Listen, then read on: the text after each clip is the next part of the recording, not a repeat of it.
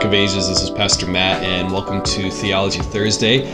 Uh, today we are looking at a passage in Acts chapter 11, and it's the first organized missionary uh, sending event in the church's history. And the reason why we're looking at that today, uh, we're taking a little break from uh, the Parables of Jesus uh, series that we're in, uh, is because Paul and Alexa Fraser are uh, heading to Japan. If you haven't seen the Mission Monday video, which is posted this earlier this week, uh, check that out and you can kind of see what that's all about. But we're to miss Paul and Alexa, and on Sunday, we're going to send them out uh, because they're taking off on Monday. Uh, but this passage deals with a question uh, that I want to answer for you. I think you've probably considered this at one point in your life or another and I think it, it, just does a really good job of answering it for us. And the question is how do I know if God is calling me to do something? How do I know if God is calling me to do this or that or that, that, that, that, that, that, that? Okay, that's what we're going to answer uh, to a certain extent here, but we're going to do it by first looking at this passage. The passage begins in verse 19 uh, with the writer saying, Now those who were scattered because of the persecution that arose over Stephen traveled as far as Phoenicia and Cyprus and Antioch, speaking the word to no one except Jews. You remember from earlier in the book of Acts, Stephen was the first martyr of the church. And one of the key players in that whole scene was Saul, later known as Paul, after he gets converted. But prior to his conversion, Saul went and just began to ravage the church and he drove them all out of these places. And so the church scatters, they go all over the place. And some of them end up uh, in Antioch. So these believers are speaking the word of the gospel only to Jews. They aren't speaking the word of the gospel to any non Jewish people. But there were some of them, these men of Cyprus and Cyrene, who, when they came to Antioch, spoke to the Hellenists also, these non Jewish people. And they were preaching the Lord Jesus. And once you know it, but the hand of the Lord was with them, and a great number who believed turned to the Lord. And if you go back to chapter 10 and let earlier in 11, you see that this question of can the Gentiles come into the faith? Can the Gentiles be legitimate believers? That's been a question the church has been wrestling with. And the answer has been yeah, they can be believers. Yeah, they can be believers. They can come to faith. Look, it's happening. And now here in Antioch, it's happening. And the church decides, well, here, let's send Barnabas. Let's see if he can figure out how we can bless this work going forward. So they send Barnabas to Antioch. And when he came and he saw the gift of God, the grace of God, he was glad, and he exhorted all of them to remain faithful to the Lord with steadfast purpose. For he was a good man, he was full of the Holy Spirit and of faith, and a great many people were added to the Lord. And one of the things to kind of make note of here, Barnabas, uh, if you go back in Acts, after Saul gets converted, Saul goes to Jerusalem and he's trying to let the people know, it's like, hey, I'm not one of the baddies anymore. You can trust me. I'm not someone who's trying to kill you. And the church doesn't really trust him because of how vicious he was towards them. But Barnabas stands up for him and he says, like, no, like, God is working through Saul here. I see the Spirit's work here.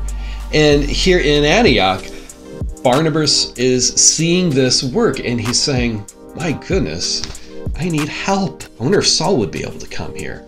And so he goes down to Tarsus. If you remember, Tarsus was uh, Saul's hometown.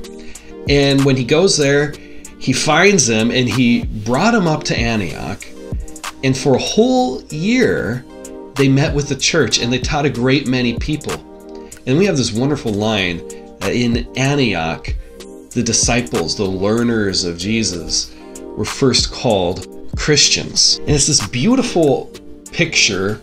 Maybe it was a, a title of derision at some point. You know, people were making fun of them. But it's a beautiful picture of this church who has taken to heart Barnabas' instruction to resolve in the heart to be faithful to Christ, to be a little Christ of Him, to follow Him, to be known by Him, to find their identity in Him. Uh, this church apparently just grew so strong. Is a like a, there's a revival that's broken out, and it's a wonderful, wonderful place. Now, the passage continues. I'm kind of breaking it up here. The end of chapter 11, there's a bunch of stuff that takes place. There's a guy in chapter 12, a guy gets eaten by worms. It's bananas.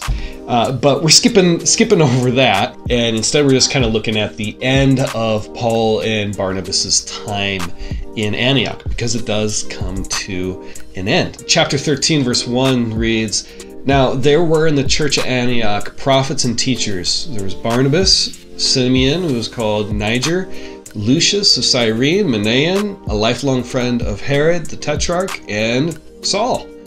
And while they were worshiping the Lord and fasting, the Holy Spirit said, Set apart for me Barnabas and Saul for the work to which I have called them. And then after fasting and praying, they laid their hands on them and sent them on. And this thing that kind of really pops out at me here, and it's throughout the whole book of Acts, is just how involved the Spirit of God is in sending His church into new areas and to go and do new things. The Spirit is always doing this stuff, and it, and it seems like they're in like this worship service. There's fasting and prayer going on, and it's maybe the Holy Spirit speaks through one of these prophets that were there. Maybe it was a kind of a thing where they're all praying and they realize, oh, Paul and Barnabas, you guys gotta go. You gotta go there's all these people around us, these neighboring towns, and way beyond these neighboring towns across this continent, there's all these people that need to know Jesus. And the only way for them to know it is if someone goes to them to bring that good news to them. I don't know exactly how it took place. Maybe it was miraculous in that way. Maybe it was just kind of the natural sort of intuitions that we get that the Spirit works in us. But regardless of how it happened, the Holy Spirit did speak in that church to say, Paul, Saul, Barnabas, you guys got to go. And you can imagine that not being a happy thing for the church. I mean, they're happy that the gospel is getting to go somewhere else, but maybe they wanted to cling on to them a little bit. But the Spirit said, you got to let them go. Set them apart, let them go. And so they did. They, they after fasting and praying, they laid their hands on them and they let them go. Now that's a passage. We're going to talk more about that on Sunday, kind of in a specific way for us as we process losing and letting go of Paul and Alexa. But I want to get back to that question. You know, how do you know when God is calling you to do something? Whether it's like to be a missionary or to be pastor or to marry someone or you know, start up a a cat sweater knitting company. I don't know. Like, how do you know when God is calling you to do something? These cases, like what we have in this passage, is miraculous and prophetic word. They're rare. They do happen, um, but they're rare. The majority of the time, God speaks to us through ordinary means like our experiences or uh, the education that we've received, the acquaintances that we have all these little things that we're able to kind of pool all together and say, well, that seems to make sense. In, in other words, most of the time when God calls us, He invites us to use wisdom uh, to weigh all these different things together. And uh, actually, this passage does line up with it. It actually is a very wise thing to send out Saul, this uh, massively trained uh, teacher in Judaism who can link together the Old Testament with Jesus and show how he's the fulfillment of that. But I, I wanted I want you to think about this for you and how you respond to God's call in your life. I, I like to think of this uh, as, a, as, a, as a hand test, okay? Uh, and it's because there's five points to it and it's easy to remember. And the first thing, the first thing that I want you to weigh as you consider what God might be calling you to do is to just ask, does it line up with what God says in His Word? If you feel like God is saying to you that you need to go punch a dog, like, probably don't. Like, that's not, that doesn't line up with what God would have you go do. You know, God isn't calling you to go do something dumb, okay? So that's kind of the first thing? Like, is it immoral or is it rejecting previous commitments that you've made that you still have to hold on to? You just ask that. Does it line up with God's word and what He has taught us? If it doesn't, you don't even need to keep on going. But if it does, then you keep going. And the second thing is like what the church did in Acts 13 prayer. Now, Christians are never commanded to fast in the New Testament. It's it's done. It only comes up two times in Acts and then the rest of the New Testament. But uh, prayer is commanded. It is. Uh, we are encouraged to pray and to seek the Lord's guidance on that, and to just really slow down and think about what God is laying before our eyes. And so um, that's kind of the second thing. Is it in line with God's word, or at least doesn't oppose God's word? Okay, then pray about it. And you spend time, and there's no specific amount of time, but give some time to think about it and to bring those thoughts to God. Third thing is, and this is often a result of the prayer, is I don't know how to really word this, but you know, does your heart burn about it? Like, is there is there a problem out there that you wish someone would do something about? Like, does it kind of bug you that this thing doesn't have a solution yet?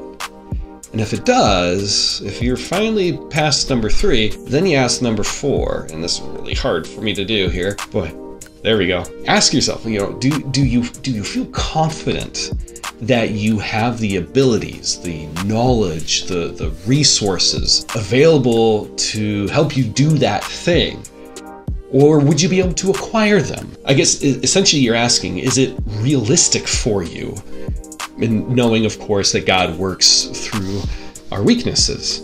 So you ask those four questions, and then the last one, the fifth one, is what does the church say? Does the church affirm what you're sensing. Uh, does a church say, you know what, actually, yeah, we could see you doing that, and boy, we, we hope that you would do that. You go through those five things. Does it line up with what God says? You pray about it. Does your heart burn about it? Is it realistic? Does the church recognize that it's realistic? And do they, as they see you, do they also say, yeah, this is this is for you? You go through that I'm not saying that God absolutely is calling you to do that, but it's it's a pretty likely uh, situation. Um, maybe a, a, sixth a sixth question that you could uh, put on there, and I guess it's not really so much of a question; it's more of a step.